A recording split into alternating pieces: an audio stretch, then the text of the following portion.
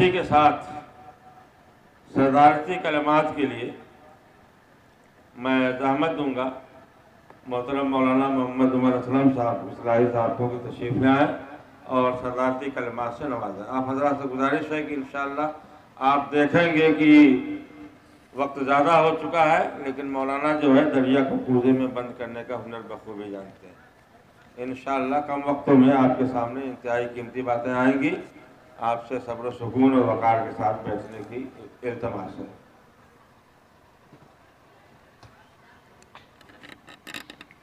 السلام علیکم ورحمۃ اللہ وبرکاتہ۔ نحمد اللہ العظیم ونصلی علی رسولہ الکریم، اما بعد۔ قال اللہ تبارک و تعالی فی القرآن المجید اعوذ باللہ من الشیطان الرجیم۔ بسم اللہ الرحمن الرحیم۔ یا ایوہ الذین آمنوا قو انفسکم و اہلیکم نارا وقودها الناس والحجارہ۔ علیہا ملائکت غلاد شداد۔ لا یعصون اللہ ما امرہم ویفعلون ما یؤمرون۔ حضرت مولانا مفتی عبد الباطن صاحب، جناب مولانا عطف الرحمن اصلاحی صاحب اور استاد گرامی قدر جناب مولانا محمد عامر اصلاحی قاسمی صاحب اور حاضرین مجلس۔ ابھی آپ کے سامنے تین بڑی اہم اور قیمتی تقریریں ہوئی ہیں۔ اور تینوں نامور اور ممتاز علماء دین کی تقریریں تھیں۔ تینوں تین الگ الگ موضوعات پر تھیں۔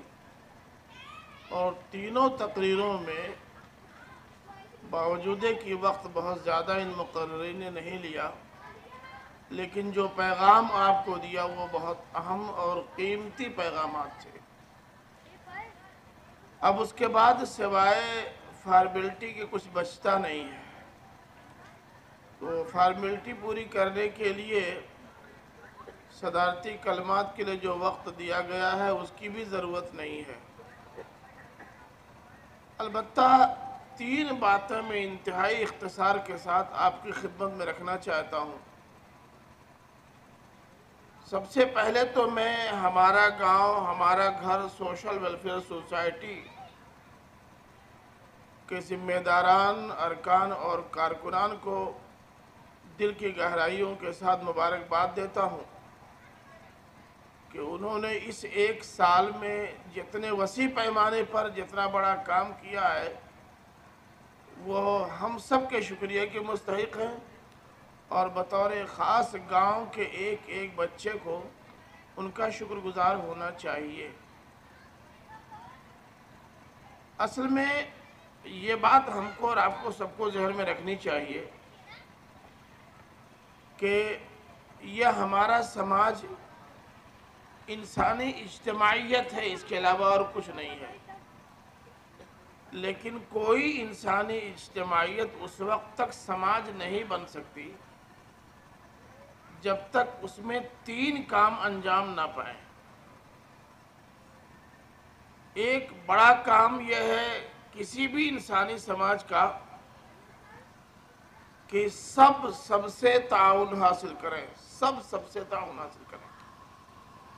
اگر کسی سماج کے سارے لوگ ایک دوسرے سے تعاون حاصل نہیں کرتے اور وہ اپنے آپ کو سماج کے کسی ایک فرد سے بھی بے نیاز سمجھتے ہیں، تو ہمیں یہ سمجھنا چاہیے کہ ہمارا سماج ابھی سماج نہیں بن سکا۔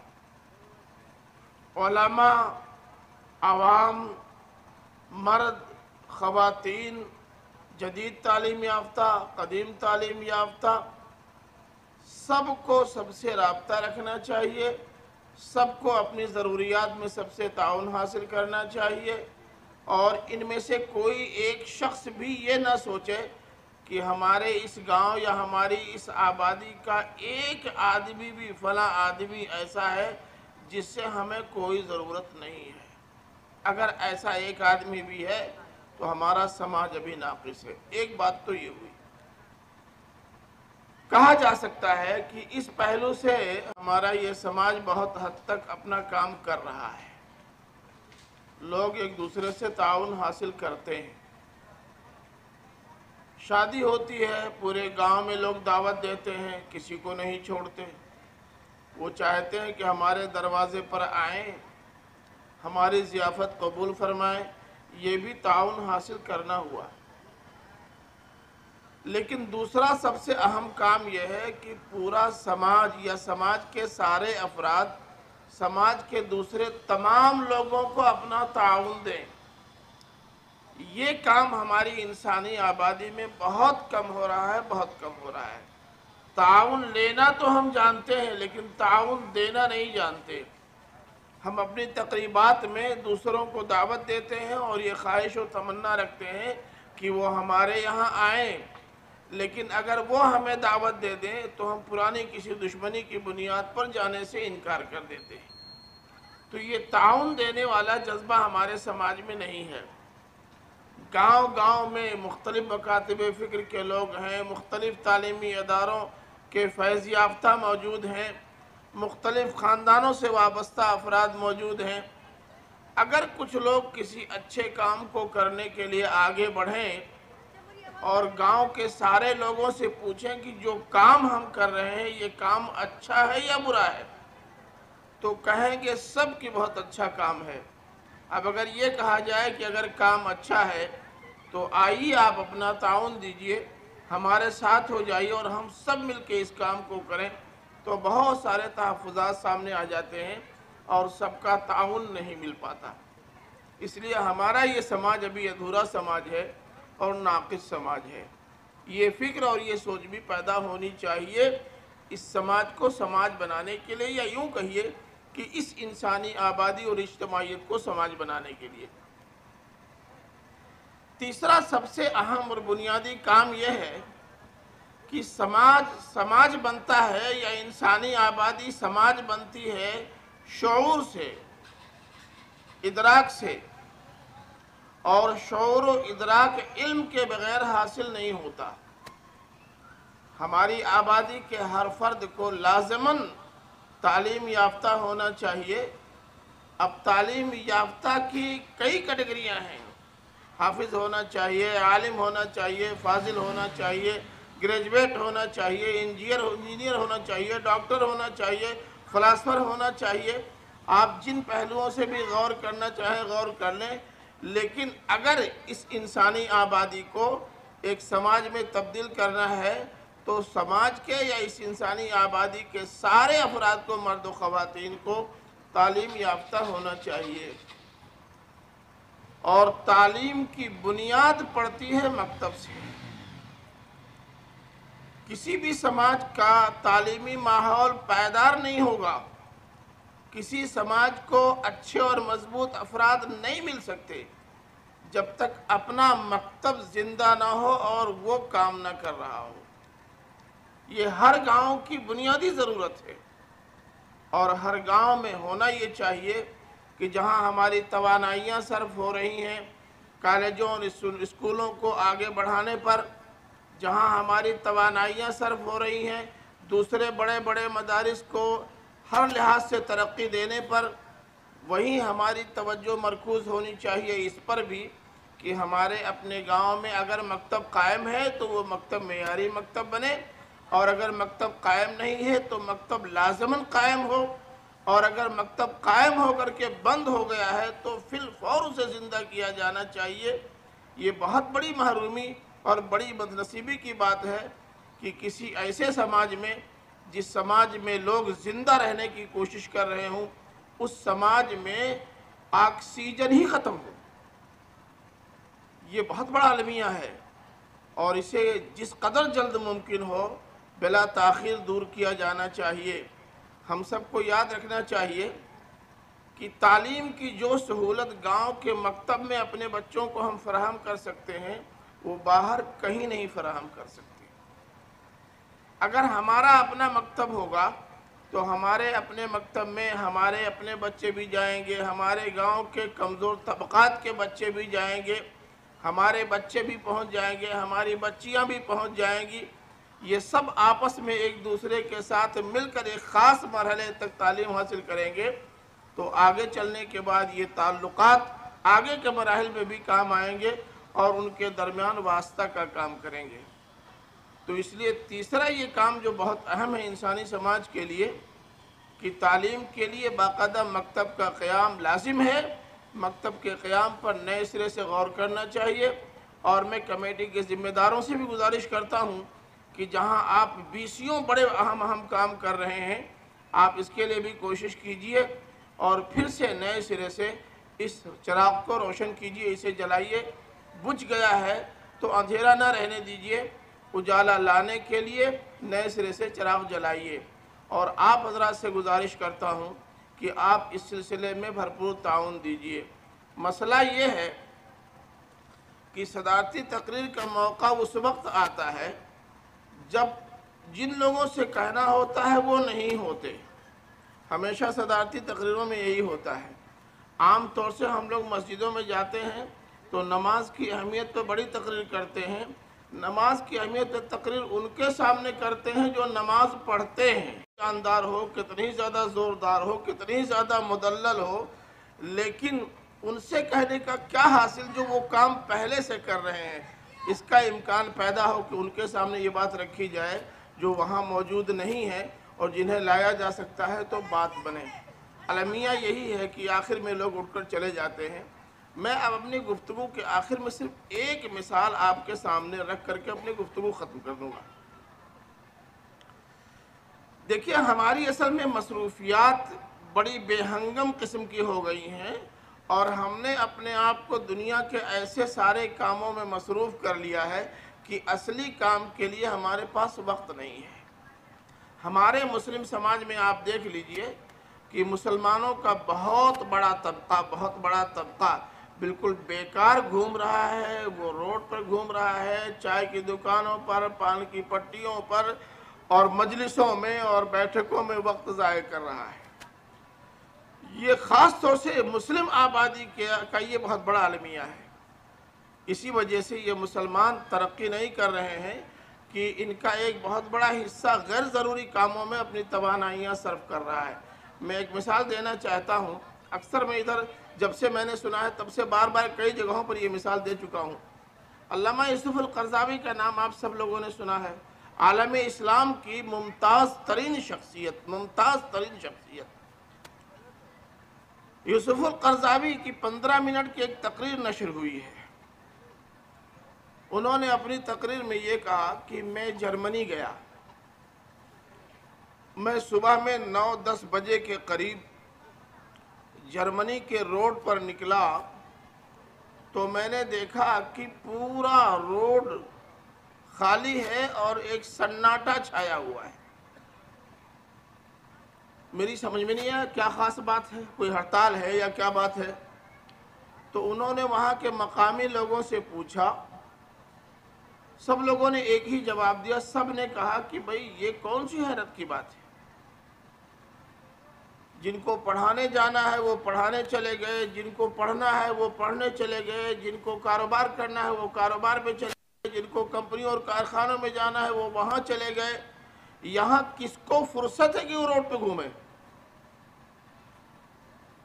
پھر انہوں نے کہا کہ اچھا اس وقت سناٹا ہے تو شام کو جیسے سرائمیر میں گہمہ گہمی ہوتی ہے ایسی ہی گہمہ گہمی دیکھنے کو ملے گی۔ تو شام کو مغرب اور عشاء کے درمیان پھر وہ نکلے۔ پھر وہی سناٹا۔ اب انہوں نے ایک صاحب سے پوچھا کہ بھائی ہم نے سنا تھا کہ دن میں یہ روڈ خالی اس لیے تھے کہ سارے لوگ اپنے اپنے کام پہ چلے گئے، کس کو فرصت کی روڈ پہ گھومے۔ لیکن جانے والے واپس بھی تو آئے ہوں گے۔ آخر اس وقت سناٹا کیوں ہے؟ حیرت اس پر ہے۔ اس آدمی نے کہا کہ ڈاکٹر صاحب، آپ کو حیرت اس پر ہے کہ دن میں سناٹا اور شام میں سناٹا ایسا کیوں ہے؟ مجھے حیرت آپ کی حیرت پر ہے۔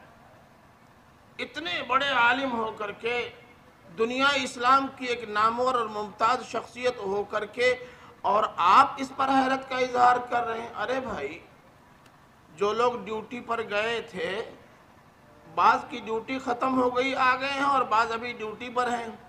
جو ڈیوٹی سے آ گئے ہیں، ان کو کھانا کھانا ہے۔ تھوڑا سا ٹی وی کھول کر کے کچھ خبریں معلوم کر لینی ہیں۔ بال بچوں کے ساتھ ذرا سا ملنا ہے۔ اور پھر سونا ہے اس لیے کہ صبح پھر ڈیوٹی پہ جانا ہے۔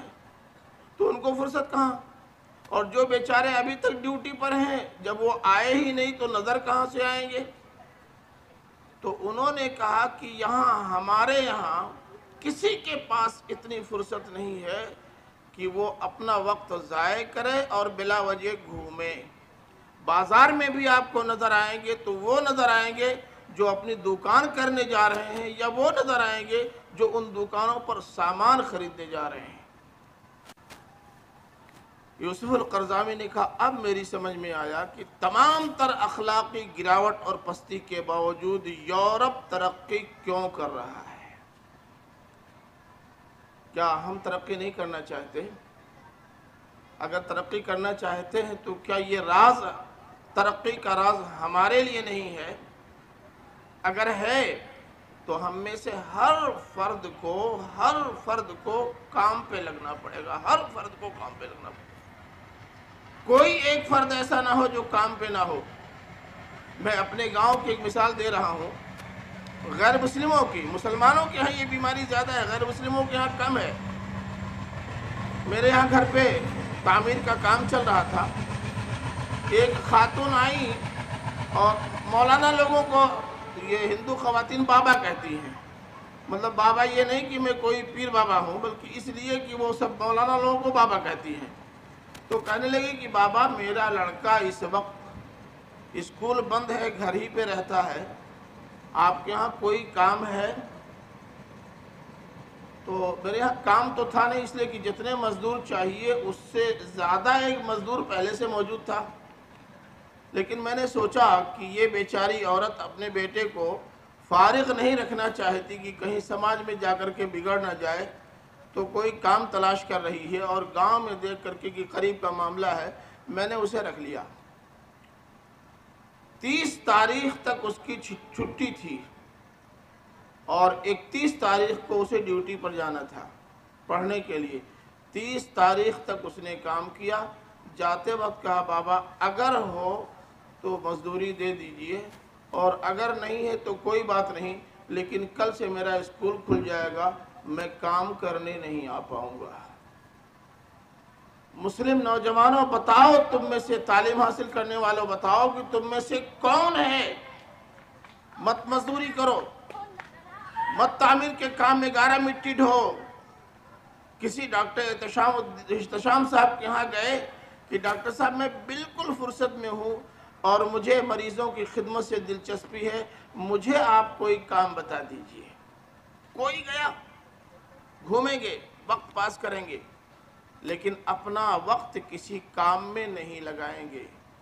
ایسی قومیں ترقی نہیں کرتی۔ میں پھر مبارکباد دیتا ہوں اس کمیٹی کے لوگوں کو کہ انہوں نے ایک بہت اچھی پہل کی ہے اور جس طرح کے یہ انعامات تقسیم کر رہے ہیں، لوگوں کو ترغیب دے رہے ہیں، توقع یہی ہے کہ یہ ترغیبی اقدامات لوگوں کے لیے محمیز کا کام کریں گے اور انشاءاللہ زندگی پیدا ہوگی۔ لیکن مین پاور ہاؤس جو بند ہے، اس میں فوراً ڈیزل ڈالیے اور اس کو شروع کیجیے تب کہ ہفتہ عشرہ خبری ملے گی کہ خریمہ کا مکتب پھر سے شروع ہو گیا ہے۔ بس مجھے انہی چند باتوں بہت اچھا دیکھیے۔ ایک صاحب نے اپنا ہاتھ اٹھایا کہ میں انشاءاللہ کل سے پہل کرتا ہوں۔ انشاءاللہ سارے خریمہ کے لوگ کریں گے۔ کل پرسوں کے اندر اتنے سارے لوگ بیٹھے ہوئے ہیں، اگر فی کوئی مدرس نہیں ملتا، تو ان سارے اصلاحیوں میں سے کسی سے کہیے کہ وہ بسم اللہ کر دے، دو چار چھ دن اپنی خدمت انجام دے دے، اور جیسے ہی کوئی مدرس مل جاتا ہے، ان کو فرصت مل جائے گی۔ اگر یہ ایک کام بھی ہو گیا، تو میں سمجھتا ہوں کہ کھریواں کی یہ کمیٹی پورے ڈسٹرک اعظم گڑھ کے لیے ایک آئینہ بن جائے گی۔ اللہ کرے کہ اس آئینے سے یا اس آئینے میں سب کو اپنی تصویر دیکھ کر اپنی اصلاح اور اپنے چہرے کو دھونے کی توفیق مل جائے۔ آمین۔ و دعوانا الحمدللہ رب العالمین۔ السلام علیکم ورحمت اللہ وبرکاتہ۔ جزاکم اللہ مولانا محترم، بڑی قیمتی گفتگو ہوئی ہے۔ میں اس پر کچھ گفتگو نہ کر کے صرف ایک بات کہوں گا، مولانا کی گفتگو کی روشنی میں، کہ ہم چوبیس گھنٹہ میں صرف نو منٹ، تین تین منٹ، تین وقتوں میں۔ صبح میں، دوپہر میں، شام میں، تین تین منٹ۔ اپنے بچوں پر وقت۔ دیں اپنے بچوں کے لیے وقت نکالیں، انہیں اپنے پاس بٹھائیں ان ان کے پاس خود بیٹھیں اور ان کی ایکٹیویٹی کے بارے میں معلوم کریں کہ اب تک کیا کیا کیا ہوم ورک تمہیں اسکول میں ملا کلاس ورک کیا رہا، کیا کیا کیا نہیں کیا، کہاں گئے۔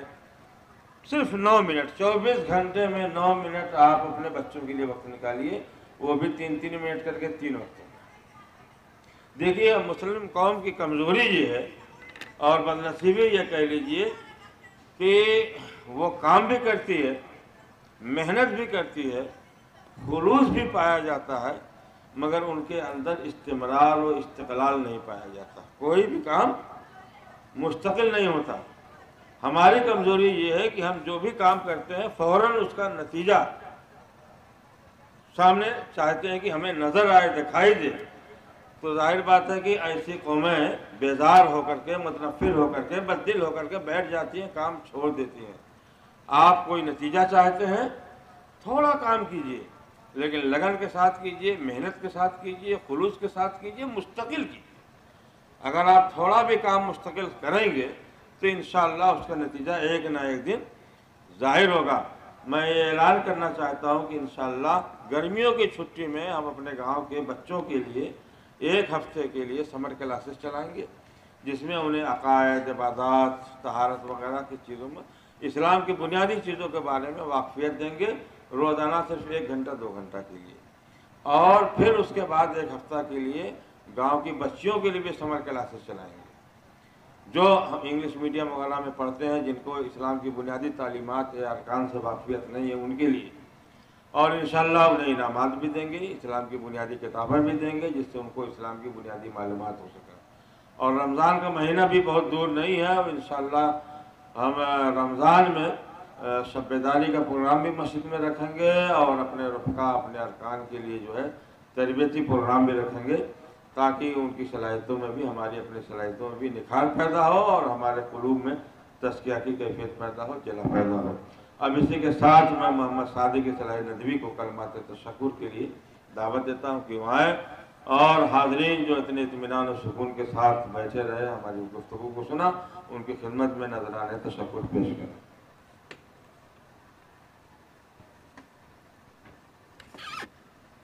بسم اللہ الرحمن الرحیم۔ الحمد للہ رب العالمین والصلاة والسلام علی سید الانبیاء والمرسلین وعلی آلہ وصحبہ اجمعین.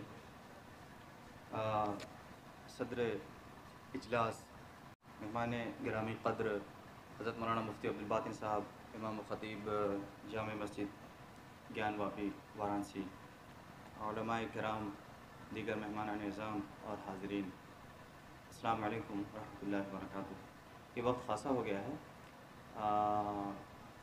پروگرام یہ سوسائٹی کے تحت منعقد ہوا ہے، سوسائٹی کیا ہے اس کا مقصد کیا ہے، اس کی کاز کیا ہے، بڑی حد تک آپ اس سے واقف ہو چکے ہیں۔ اجلاس میں جو لوگ بھی حاضر ہوئے ہیں، جس حیثیت سے بھی حاضر ہوئے ہیں، میں آپ سب کا تہ دل سے شکریہ ادا کرتا ہوں۔ جو لوگ گاؤں سے، جن کا تعلق ہمارے اپنے گاؤں سے ہے، چاہے وہ بزرگ ہوں، بچے ہوں، نوجوان ہوں، بوڑھے ہوں اور جو لوگ گاؤں سے باہر سے یعنی قرب و جوار سے اطراف سے تشریف لے آئے ہیں، وہ بھی ہمارے شکریہ کے مستحق ہیں۔ اور اسی طرح سے میں خواتین کا، اپنی ماؤں کا اور بہنوں کا شکریہ ادا کرنا چاہتا ہوں۔ لیکن بہت خصوصی طور پر میں کلمات تشکر نظر کرنا چاہوں گا اپنے آج کے بہت ہی خاص مہمان حضرت مولانا مفتی عبدالباطن صاحب، جو بنارس کے سرزمین سے تشریف لے آئے ہماری ایک معمولی دعوت پر اور ایک یعنی چھوٹی سی پکار پر آپ نے ہمارے پروگرام کو زینت بخشی، اس کو رونق رونق بخشی۔ ہماری عزت افزائی فرمائی۔ ہم آپ کے بہت ہی ممنون ہیں، احسان مند ہیں اور امید کرتے ہیں، توقع کرتے ہیں کہ آئندہ بھی اس طرح کے پروگراموں کی نسبت سے جب بھی آپ کو ہم یاد کریں گے تو امید یہی ہے کہ آپ اسی طرح سے ہماری عزت افزائی فرمائیں گے۔ استاد گرامی میرے والد کی بھی استاد ہیں، میرے استاد کے بھی استاد ہیں، حضرت مولانا محمد عامر صاحب قاسمی۔ اور پروگرام کے شروع سے بالکل آخر تک جمے رہے۔ میرا خیال ہے ہم جیسے نوجوانوں کے لیے یا ہمارے اپنے گاؤں کے بزرگوں یا بچوں کے لیے ایک نمونہ ہے، ایک مثال ہے ایک انسپائریشن ہے کہ اس بزرگی اور اس پیری کے عالم میں بھی کیسے وہ شروع سے آخر تک جمے رہے اور ڈٹے رہے، وہ ہم سب کے، ہمارے اپنے پورے گاؤں کی طرف سے شکریہ کے مستحق ہیں۔ اسی طرح سے میں دیکھ رہا ہوں کہ جناب ڈاکٹر احتشام آزمی صاحب یہاں پہ تشریف فرما ہے اور طبیب کا پیشہ ہو ڈاکٹری کا پیشہ ہو اور اتنا وقت نکال نکال لینا اور پروگرام کو دینا یہ بہت بڑی بات ہے۔ میں ڈاکٹر صاحب کے جذبات کی اور ان کی اس عزت افزائی کی بھی قدر کرتا ہوں۔ میں ان کی خدمت بھی, شکریہ کی کلمات نظر کرنا چاہوں گا۔ جو بھی مہمان ہیں ہمارے اکابرین ہیں بزرگ حضرات ہیں سبھی کو سبھی کے لیے بہت بہت شکریہ۔ سب کا نام گنا پانا مشکل ہے۔ اور امید یہ ہے کہ آئندہ جب بھی اس طرح کے پروگرام ہوں گے تو آپ اسی طرح سے ہمارے حوصلے بڑھائیں گے، ہماری ہمتیں بڑھائیں گے، پروگرام کو رونق بخشیں گے اور آئندہ ہمارا، ہماری سوسائٹی کا جو بھی لائمل ہوگا جو بھی پروگرام ہوگا، آپ اس سے پوری طرح سے کوآپریٹ کریں گے، تعاون کریں گے، ہمارا ساتھ دیں گے اور ہم سے شانہ بشانہ چلیں گے انشاءاللہ۔ اللہ تعالیٰ آپ سب کو جزائے خیر سے بہرور فرمائے۔ جزاکم اللہ خیر۔ اب اس کے بعد بغیر کسی تمہید و تاخیر کے میں حضرت مولانا مفتی عبدالباطن صاحب سے دعا کے لیے گزارش کروں گا کہ دعا فرمائیں اور دعا کے ساتھ ہی یہ اجلاس آج کا اختتام پذیر ہو محترم بھائیوں ہمارا گاؤں، ہمارا گھر اس ادارے نے مختصر وقت میں بہت سی خدمات انجام دی میں اس ادارے کو اور اس کے ذمہ داران کو خلوص مبارکباد پیش کرتا ہوں اور دعا کرتا ہوں کہ اللہ تعالیٰ اس ادارے کو قائم و دائم رکھے اور جملہ شرور و فتن سے سب کی حفاظت فرمائے۔ اور آخر میں میں اس ادارے کا، اس کے ذمہ داران کا بھی میں شکر گزار ہوں کہ اس حقیر و فقیر کو اس اہم پروگرام میں یاد کیا اور یہاں پہ آ کر کچھ باتیں کہنے کا موقع دیا۔ میں اس کے لیے بھی اس ادارے کا